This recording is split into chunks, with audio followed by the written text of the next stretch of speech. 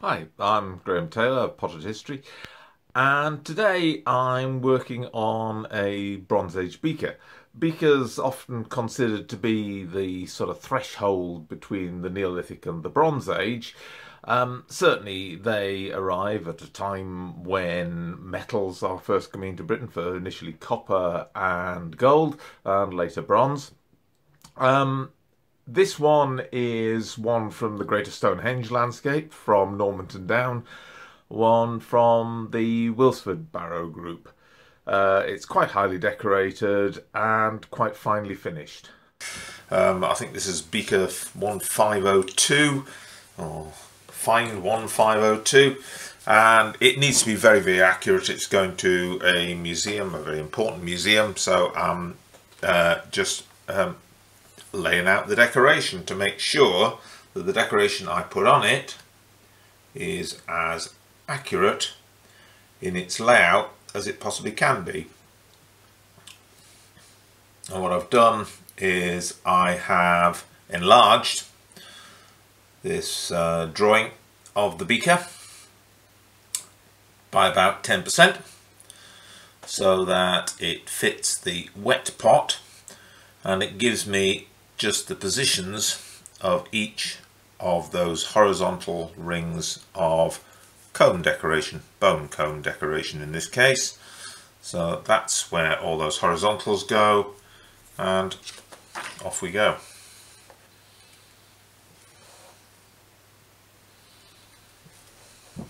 And as you can see, this is going to take some time about halfway now. Still got a long way to go. It takes pretty much as long, if not longer, to decorate one of these beakers than it does to make one.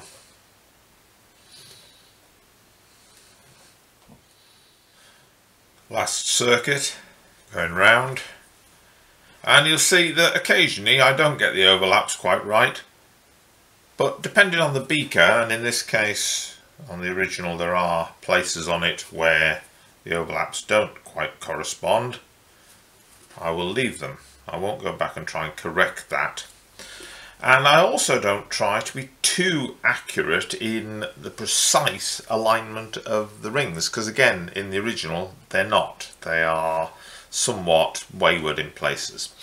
Um, what I need to do now is to put in the crisscross lines in the slightly wider bands here and I'm going to do that not with a narrow tool as you might expect but because I've got a curved bone tool curved edge to it what I can do is I can produce diagonal lines within those boundaries quite happily without having to resort to a different tool. I'm going to have to put my hand across there because I need to work from below. There we go. But you can see that those crosses, those crisscrosses, can be put in quite happily just with the same tool without showing any excess either side of the band, although you do occasionally get those sort of overlaps. So that's what I'm going to do. I'm going to work around. I'm going to put in diagonals going one way, I'll come back round and put the diagonals the other way. You can do the crisscross as you go, but quite frankly it involves having to keep turning the tool round and round, and it's much easier to do it by working round. And in fact, I always say that I can see when a potter is right or left-handed by which diagonal is done first. If, if you're right-handed like me, it's easier to support the pot in your left hand and decorate with your right hand and therefore it's easier to put in the lower left to upper right diagonal first and then come back and put the other one across it by, by turning the pot a little bit towards you. I think that's an indication of right or left-handedness of the potter. The other thing that happens while you're busy doing this, while you're putting this decoration in, is you actually burnish the inside of the pot because your hand sitting inside, working round and round the pot, tends to burnish the inside of the pot. And I, I do often see sort of notes in excavations saying that the beaker was burnished inside, which actually is a really difficult thing to do if you're going to try and do it um, by putting a tool down inside there, but it happens naturally while you're decorating your pot. Okay, back in a while when I'm a bit further on. Just finishing up now. It's taken me the best part of an hour to decorate this pot.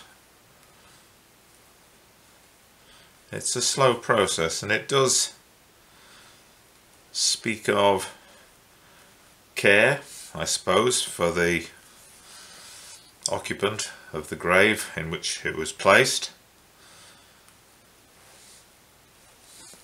It also speaks of the fact that time has been taken to decorate it, suggesting that the time is available to do that, and certainly, certainly with Bronze Age pottery, was seeing an awful lot more highly decorated pottery where the time taken is certainly a lot more than is necessary for a vessel that would be purely functional.